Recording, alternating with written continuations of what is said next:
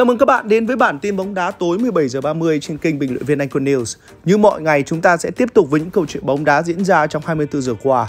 Từ diễn biến của các thương vụ chuyển nhượng cho tới những phát biểu thú vị hay những chuyển động hấp dẫn khác của giới tu cầu. Hãy cùng bắt đầu với những câu chuyện chính của bản tin tối này. Tiền đạo Anthony là mục tiêu số 1 mà Man United đang theo đuổi trong những ngày cuối của kỳ chuyển nhượng hè.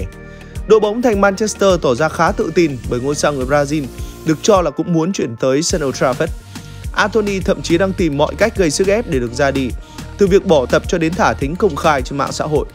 Các cổ viên của Quỷ Đỏ vừa có dịp mừng thầm khi anh trai và cũng là người đại diện Emerson Santos của Anthony đăng tải lên story Instagram bức ảnh hai anh em đang theo dõi trận đấu giữa Man United và Liverpool.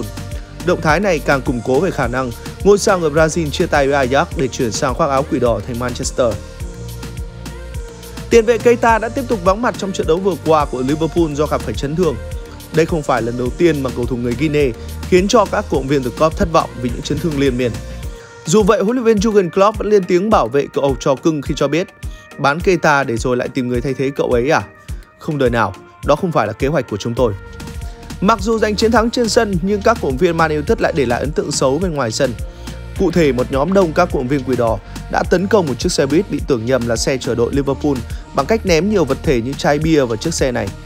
Nhóm cổ động viên này thậm chí còn hét lên đồ giết người nhắm vào những người ngồi trên xe. Đây là một hành động rất xấu xí và Man United có thể sẽ bị phạt do hành vi của những cổ động viên quá khích. Các cổ động viên AS Roma lại tiếp tục đón tin không vui khi tiền vệ Nicolo Zaniolo đã gia nhập danh sách bệnh binh.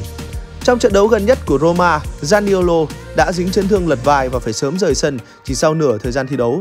Chấn thương này dự kiến sẽ khiến cho tiền vệ người Italia phải ngồi ngoài trong vòng 3 đến 4 tuần.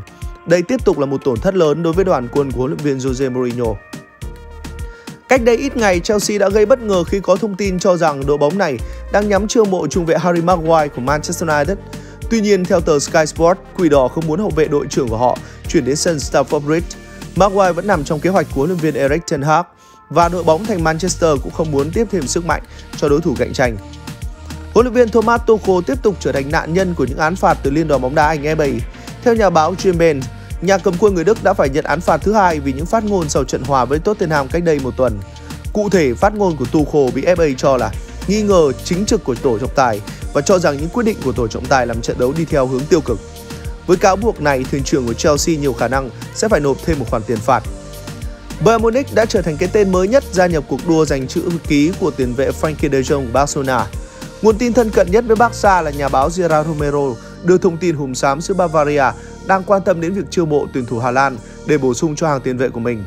Tương lai của De Jong tại sân Spotify Camp Nou lúc này vẫn chưa rõ ràng bởi Barca đang muốn bán số 21 trong khi De Jong thì kiên quyết ở lại. Ngoài Bayern còn có Chelsea cũng đang cố gắng lôi kéo Frankie De Jong về với mình.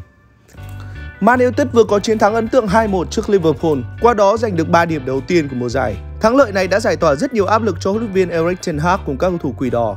Một trong những điểm nhấn trong việc lựa chọn nhân sự ở vị chiến lược gia người Hà Lan chính là việc để bộ đôi Harry Maguire cùng Cristiano Ronaldo ngồi ngoài ngay từ đầu. Lý do cho quyết định bất ngờ này, Ten Hag nói, Varane là một cầu thủ giàu kinh nghiệm, anh ấy đã giành mọi vinh quang và sẽ đem đến sự giao tiếp tốt hơn cho bộ tứ vệ. Chúng tôi muốn có tốc độ và sự cơ động ở hàng thủ. Đó là lý do tôi lựa chọn bộ tứ vệ như vậy. Liverpool là đội bóng rất mạnh, cả lúc có bóng lẫn không có bóng. Bạn cần phải gây áp lực cho họ, điều đó đòi hỏi rất nhiều năng lượng. Bạn cần phải đánh bại họ trong những tình huống chuyển trạng thái. Vậy nên tôi đã lựa chọn Rashford, Elanga và Sancho cho hàng công. Thuyền trưởng người Hà Lan nói thêm, chúng ta có thể nói về chiến thuật này kia, nhưng quan trọng nhất vẫn là thái độ. Hôm nay thái độ trên sân đã được cải thiện, đã có nhiều hơn sự trao đổi. Họ đã thể hiện được tinh thần chiến đấu và cho tất cả thấy họ có thể chơi bóng một cách tử tế. Trái ngược với sự hào hứng của Erik ten Hag, người đồng nghiệp bên kia chiến tuyến của ông là Jurgen Klopp lại tỏ ra vô cùng thất vọng với những gì đã diễn ra trên sân Old Trafford. Phát biểu sau trận đấu, vị chiến lược gia người Đức nói Nhẽ ra chúng tôi phải thắng trận này, tôi biết điều đó nghe có vẻ nực cười, nhưng đó là những gì mà tôi đã thấy. Sau khi họ ghi bàn, chúng tôi đã giành lại quyền kiểm soát. Cho đến những đường truyền cuối hay những pha xử lý cuối, chúng tôi vẫn làm mọi thứ một cách hợp lý. Nhưng trước một hàng thủ đông người, thật khó để tạo ra những cơ hội liên tục. Chúng tôi đã không may sau một tình huống cố định mà tôi vẫn không hiểu vì sao bóng lại không vào lưới. Chúng tôi đã có những cơ hội nhưng nó đã bị từ chối bởi khả năng cản phá xuất sắc của De Gea hoặc bị hậu vệ của họ cản lại kịp thời. Tình thế không hoàn hảo cho chúng tôi nhưng nó đủ để chúng tôi chơi tốt hơn. Trong ngày hôm nay, chúng tôi có thể thắng nếu chơi tốt hơn chỉ một chút thôi. Các cộng viên của AS Roma cũng như đội tuyển Hà Lan vừa đón tin dữ khi tiền vệ George Van Adam dính chấn thương gãy chân và sẽ phải nghỉ thi đấu trong thời gian dài, qua đó nhiều khả năng bỏ lỡ cả World Cup 2022. Trang chủ của AS Roma thông báo sau một chấn thương gặp phải trong buổi tập vào chiều Chủ nhật, George Van Adam đã phải trải qua các cuộc kiểm tra y tế và được xác nhận bị gãy xương chảy ở chân phải. Cầu thủ này sẽ được đánh giá thêm trong những ngày tới. Trong trận đấu vừa qua của Roma sau khi ghi bàn, hậu vệ Chris Smalling đã giơ cao chiếc áo mang áo số 25 của Van Adam nhưng một cách để ủng hộ người đồng đội. Huấn luyện viên Jose Mourinho cũng thể hiện sự ủng hộ đối với tiền vệ người Hà Lan bằng cách đăng lên trang cá nhân chiếc áo có dòng chữ Cố lên Gini. Có thể nói toàn đội AS Roma đang ở bên cạnh Joshua Wijnaldum vào lúc này.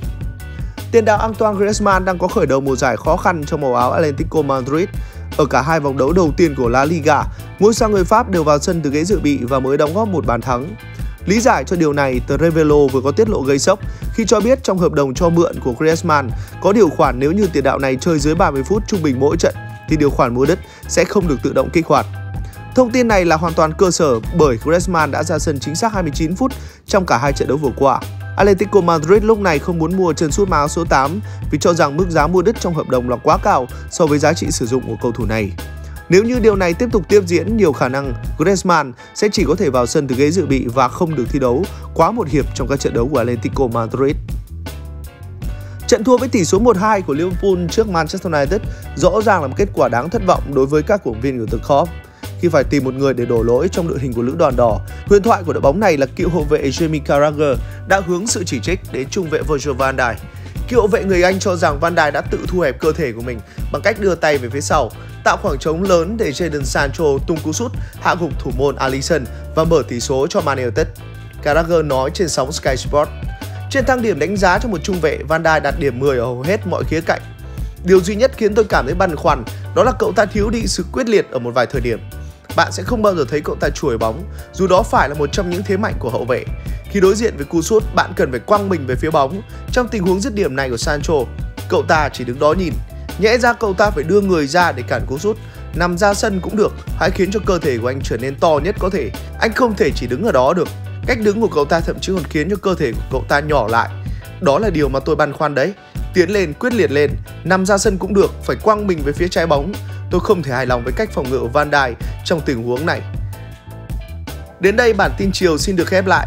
Cảm ơn các bạn đã luôn đồng hành cùng bình luận viên Anh Quân News. Xin chào và hẹn gặp lại.